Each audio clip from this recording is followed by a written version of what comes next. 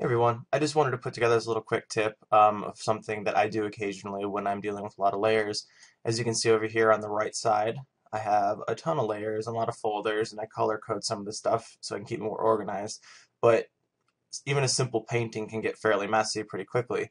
And so what I do occasionally, if I want to deal with only a handful of layers and not deal with all the clutter, and I don't want to just color code it and look for those, sometimes what I'll do is I'll select the layers that I want to only work on, hit Control G, and that just groups them. So I just want to work on, say, the stuff in the foreground here, and only that. So you can group that stuff, right? And then what you do is if you right click on the eye, you can change it to a specific color. I'll just go with orange. So all that's orange, so you could do it just like that.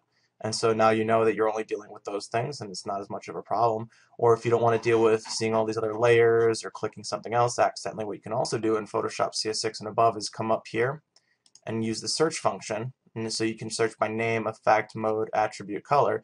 What I'm going to do is go to color, switch this to orange, and there you go.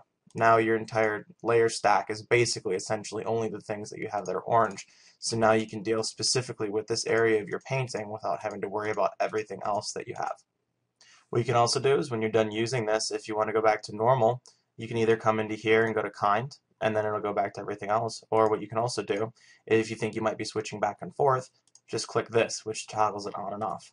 So you can go back down and do whatever else you need to do, and then if you want to go back to those layers again, there you go. Alright, hope this helps. Good luck and happy painting.